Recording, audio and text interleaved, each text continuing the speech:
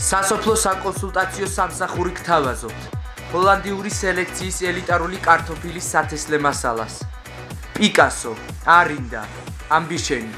სავიოლა და ახალი ჯიში, არიზონა. ახალციხე, თამარაშვილის 29.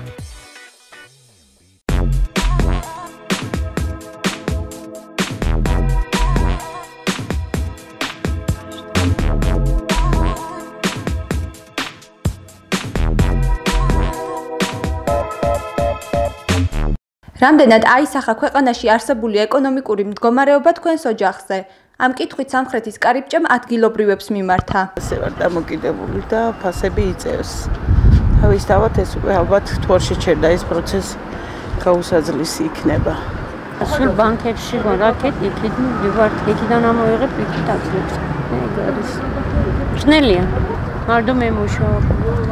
ისიც რა მუშაობ რა ხელფასი. პროდუქტები თუ გაძვირდა? ეგ თქვენ იცით ჩვენ რაც ამბობ ეგ უფრო თქვენ იცით.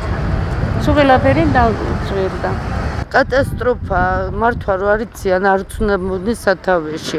რატომ ვიყოთ ამერიკაზე და დოლარზე დამოკიდებული? პროდუქტიც გაგვიზრდა სესხებიც გაგვიზრდა ყველაფერი გაგვიზრდა. რომ შეიძლებოდეს რაღაც გამოსავალი პირველი ვიქნები მაგალითად ჩაუდგეს სათავეში და გავაკეთო ის რომ ამ საწყალხარს უშველოთ და მივიდეთ მთავრობამდე. არ ვიცი, ჩვენი ხმა არ მიდის მთავრობამდე.